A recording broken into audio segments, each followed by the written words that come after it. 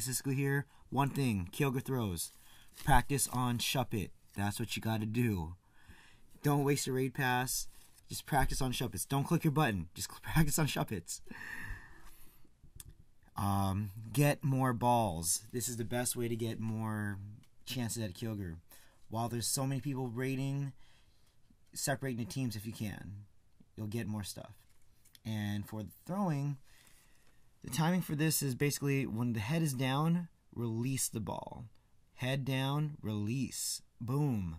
Nice. Release. Ooh, what a throw. So it's going to be in like two positions. It's going to be in a center position. What we want to do is have it start your throw in a really far corner and then whip it. It's a flick. 45 degrees and don't go past the body. Don't go past the body. I have a little red marker to see where you can see where I release it. It doesn't go past the body. Boom. It's going to be tough. It won't work in the iPhone 10. But it's the other position when it's in the side.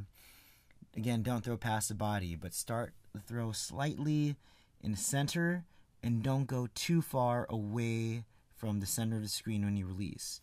Again, I'll show you the release point. Like all my throws have a red dot on it where you can see I, where I release the throw.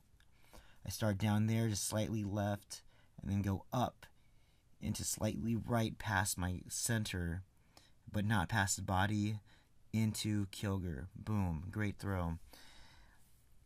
But yeah, it's a tough throw, man. Um, reminds me of like trying to get executes or whatever. But yeah, there's just some throws here. Just look at those. Look at the red dot. See where I release them. They never go past the body. Um, that's a fail because I didn't go too high. But um, yeah, just learn from your mistakes. Um, like I said, Shuppets, Shuppets, Shuppets. There's a guy I know. He had a perfect on his first try, and he didn't know this video. So. I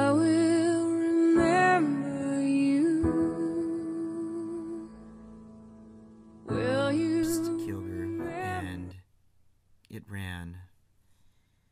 RNG is fickle, but you know I caught one on a critical and I caught one last ball. Sometimes the game wants you to have it, sometimes it doesn't. But yeah, you guys be excellent and see you next Tyranitar. Practice those throws. Shuppets.